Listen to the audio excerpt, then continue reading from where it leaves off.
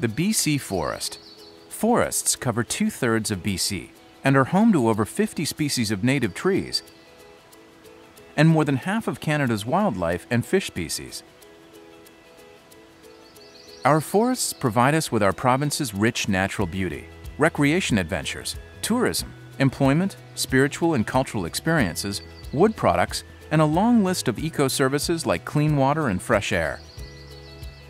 Non-traditional forest products such as herbs, berries, florals, and mushrooms support many small businesses in the province. And currently, new products are being developed from our trees. Fabric can be made from wood fiber, nanocrystalline cellulose can add strength and flexibility to materials used in many industries such as aerospace and automotive, and bioplastics are renewable, biodegradable, and reduce the need for petroleum-based products.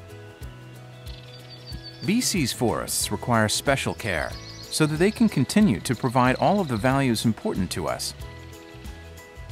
Who are professionals? Professionals are people who have specific education and experience. They have passed rigorous registration exams and spent several years articling to gain the privilege of practicing independently.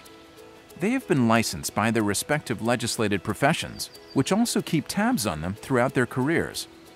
You are probably familiar with professionals like doctors, engineers, and accountants.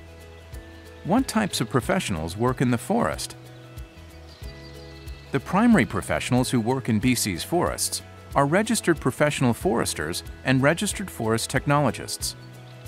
RPFs and RFTs are charged with ensuring BC's forests are managed sustainably. Forest professionals understand the living forest and work to strike a balance between social, economic, and environmental values important to British Columbians. What is professional reliance?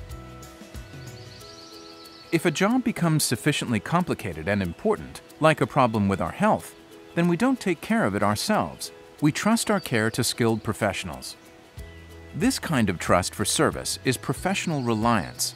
It means relying on the judgment of professionals who are accountable by law. In the forest, there is a team of professionals with different skills and experience who work for different employers.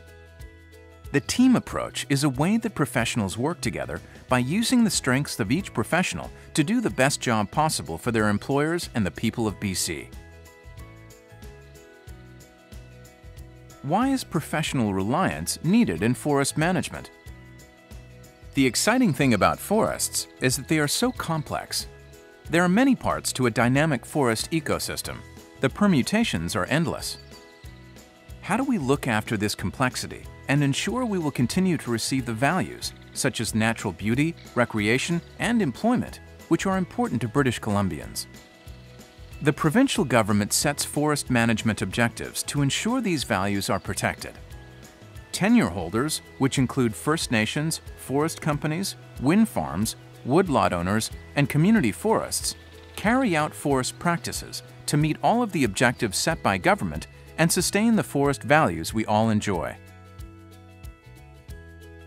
It would be impossible for government and tenure holders to meet the objectives and protect the forest values without relying on the education, skill, and experience of forest professionals to make sound decisions about what to do.